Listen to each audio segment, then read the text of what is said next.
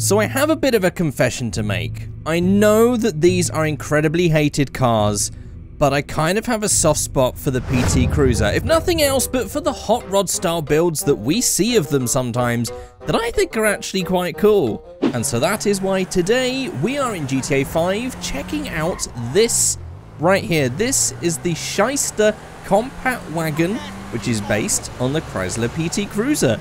And I thought we'd check this out, we'll see what we can do with this, check out the mods, do a couple of builds or something like that. And I don't know, maybe I'll try and convince you guys that these can actually be pretty cool. Now to start with, I will say that the styling of this is already kind of hot roddy. These rear lights are definitely a lot more hot rod-esque than the original lights of the PT Cruiser, so we're already on to a good start here I feel. And well, as I'm sure most of you guys would probably prefer seeing these cars in a scrapyard, I figured we'd use this as the setting for today's video. And actually, admittedly, I'm sure if I drove a PT Cruiser, I probably too would want to see one in a scrapyard. First of all, that is amazing fitment. We will be fixing that. We will be putting on something a bit bigger than bike tyres that are on this right now. These are the wheels off the uh, Dilettante, or however you say that. So this is the compact wagon Schyster. There's the Schyster logo. There's the Schyster on the front, and as you can see, mostly from the front and this uh, side profile here, you can see the resemblance to the Chrysler PT Cruiser. So basically, with everything open, we have a boot, which is just a boot.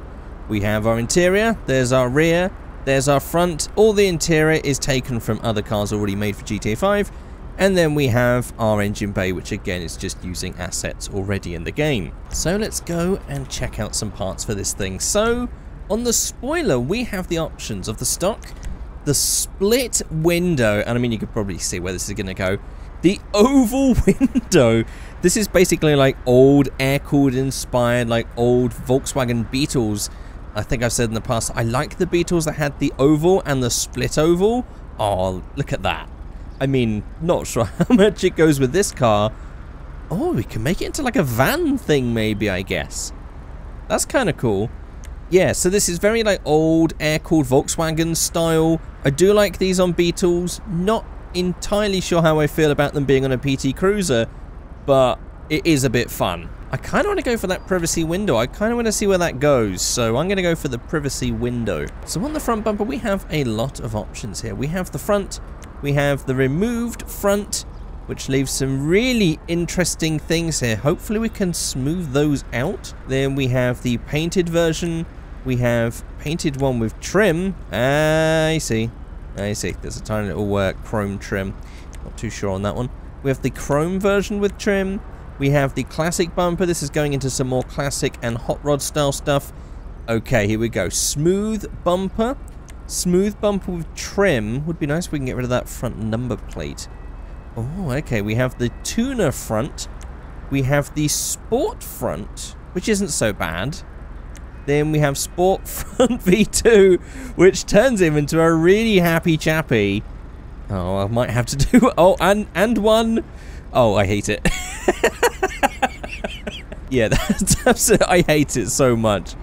But I like faces Sometimes if it's going to be goofy teeth like that, you really have to know what you're doing.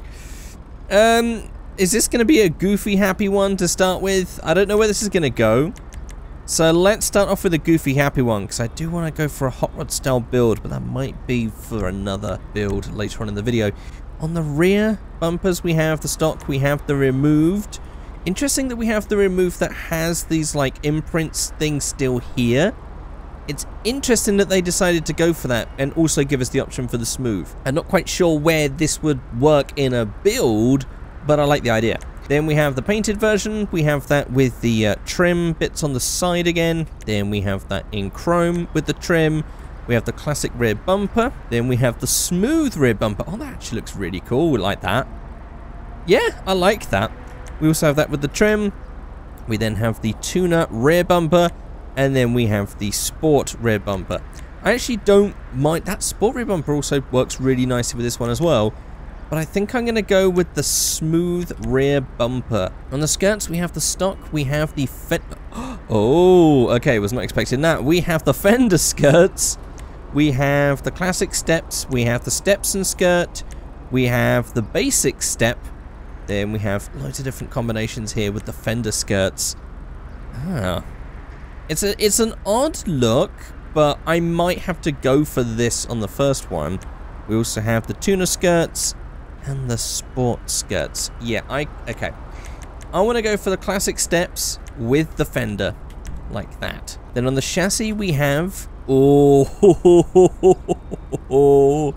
okay. I might, I think there's three builds that I have in mind that we're going to have to do in this video. This is actually, I love the versatility of this. There's definitely many different avenues we can go with this car. Oh, and then we have the panel van conversion. Okay, panel van conversion, just blank off all the things. Blank off the wheels, blank off the windows. Yeah, I'm liking that. Very, very smooth. Very cool. Then on the grill, we have the options of the uh, horizontal grill, well the stock grill, the horizontal grill, the vertical grill, which does not match with this one. It's definitely a horizontal grill car. Then we have that with chrome surrounds. Then we uh, have that one as well. We also have the remove grill, the chrome surround remove grill, the one with mesh, a split grill for another retro style look, and then a chrome split grill. I mean, this one's fine, like the stock grill. The uh, vert horizontal one here is good. That horizontal one here is good. Oh, what do I do? I mean, for some reason this starts to look like a London cab almost as soon as you get rid of all of the slats. I don't know why. Actually, you know what? I said that the vertical grills don't match, but it does have its own unique style going on here. So I'm actually going to go for the chrome surround vertical grill. Then on the hood, we have the chrome hood pinstripe. We have the vented hood and the scooped hood. I think, actually, this one's kind of... I don't know which direction this is going. Actually, I know where this is going. I'm going to go stock hood. I'm going to go for the uh, non-chrome. Is there a non-chrome? Is there a painted version of it? Wait, there isn't one. Even the center ones on this still have chrome. Oh, I kind of wished it didn't. I kind of wish we had, like, this one's painted. I kind of wish that one of these was painted too. Okay, I'm going to go with the split grill on this one then. I've decided I don't want chrome, which is now making me rethink the skirts. There's also option for chrome trim and stuff here, but I'm going to go with no as well as these stripes here. I'm going to go with no on the chrome. Then here we have deflectors, which I guess aren't going to work with the panel van look. We also have the front deflectors if you have the panel van option. And then we have the chrome ones. I'm fine with the deflectors. The deflectors are fine. We also have the options of a classic roof rack or one with bags. I mean, it's a big van. I feel like we don't need the roof rack. We'll upgrade the engine and stuff because, I mean, I wouldn't mind this being quick. On the suspension, we have some decent drop. Decent drop. That is a massive slam. We have a couple of extras. Aha, the extra that we could get rid of because we don't really need it, which is that. And then extra two is, ah, a spoiler. Oh, I don't mind it. I mean, it's a very goofy style we've gone for here. I, th this is the bit I'm most unsure of. Mostly because the color's slightly off. And yeah, you can see that there's, uh, I guess these are the normals or something. But there's a little bit of line going on, which makes me kind of... Yeah, I'm going to go with it for the concept of the look, but I don't particularly like this bit. But I do like this spoiler, and I think the whole thing kind of goes together well, so I'm going to keep that. Let's take a turbo on, of course. I'm going to go for some neon lights as well. I'm going to go front, right, all of them on. Let's go for a, a red color as well. Then on the paint, what I want to do with this one is I kind of just want to go for... we can two-tone it. Oh, okay. Interesting. Okay. Even still, in fact, what we could do is we can go for something that's a bit more like the grey. That might be a better color. And then secondary color, matte gray as well. Because I feel like matte gray is more like the real true matte black. Yeah, you can definitely see some uh, issues with the normals here when you put it onto matte. And for the all blacked out look, I kind of feel like we have to go for... Oh, look at that removed grill. I think that's the one. Yes, look at that. Make it all nice and black, really understated. So I guess we'll also go for some window tint as well. It's going to really darken this thing down. Look at that.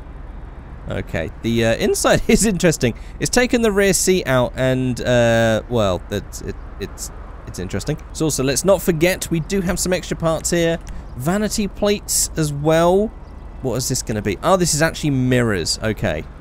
So we have the stock, we have this one which is painted, we have the chrome, we have the classic, we have the bullet mirrors, ooh, we have rectangular mirrors, truck mirrors, sport mirrors, and tuner mirrors. Now I did want to go for the all black look which kind of rules out a lot of those retro ones but it's cool to know that they're there for future builds. I'm going to go for the sport mirrors because it makes them a lot smaller and so they don't stick out as much, so that's cool. On the trunk we have the options of the woody trunk, that will go very well with the wood paneling actually.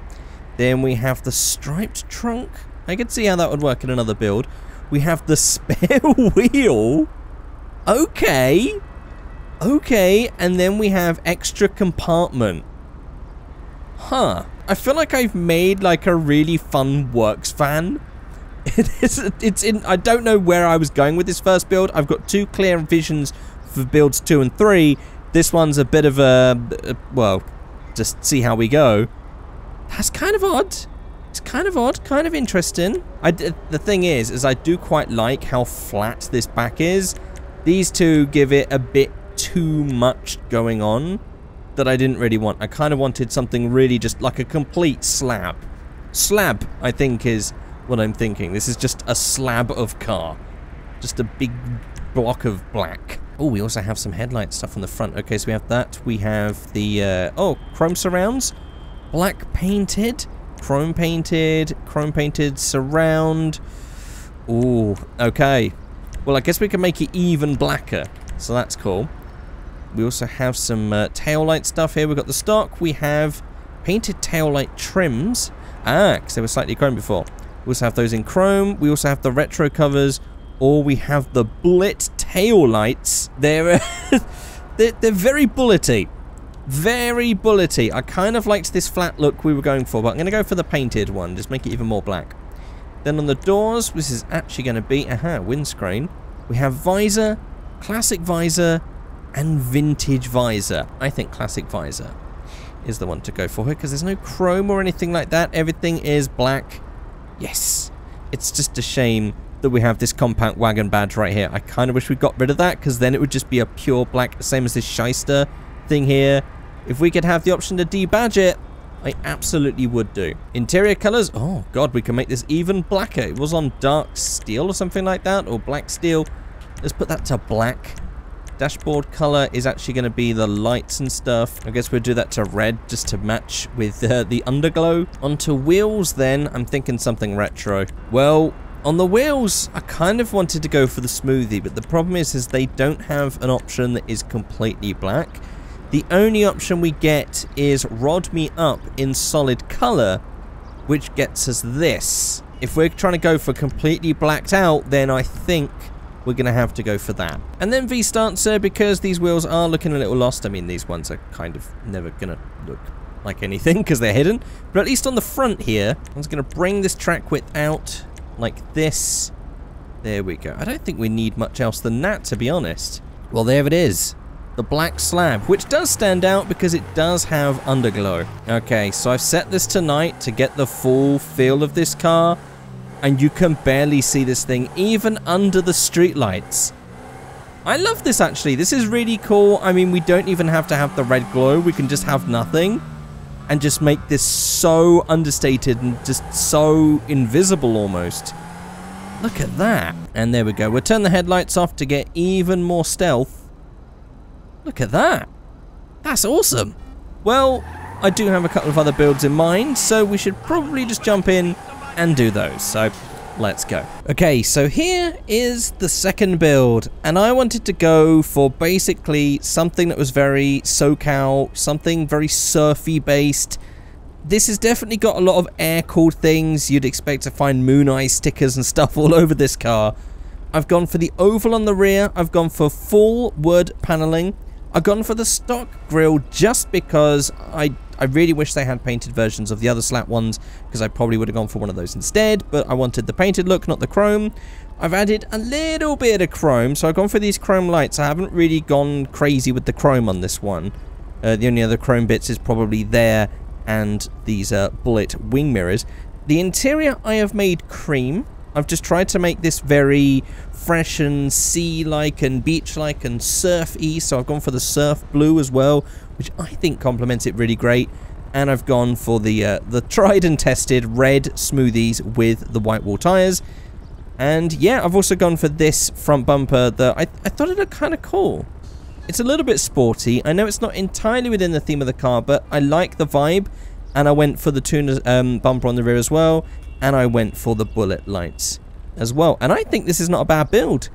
This is definitely a sort of it's it's not supposed to be a crazy car. It's it's a it's a surfer car. You'd stick your surfboard on there, you go to the beach, you have your cool surf look car, and then you go and surf. That's my style. It's basically for people that want to do this to a Beetle, but they don't have a Beetle. They've got a PT Cruiser, so they do that. that's the that's the theme of that build. Right, one more build. Let's go. Okay, so here we are with the final thing, and this is not exactly the build I had in mind. I was going to do a hot rod style, and then I realized that that's kind of what this is. This is kind of a little bit hot roddy. I kind of wanted to go for a bit more chrome, and then I just thought, I, I don't need it, and then I went for this, which was retro, so I decided to go for this, and tried to go for like a, a modern stancy look. I wanted to go for two-tone, and so I decided to go for red and white, and I basically went for this grille. I've gone for the tuner front bumper just to kind of modernize it, give it a bit of a modern flair. On the rear, there wasn't really much I could do, to be honest. It kind of looks like an SUV in a way. uh, yeah, so I just went for the red painted surrounds on that. I went for the split window here. For, I don't know, I just thought I'd try it out.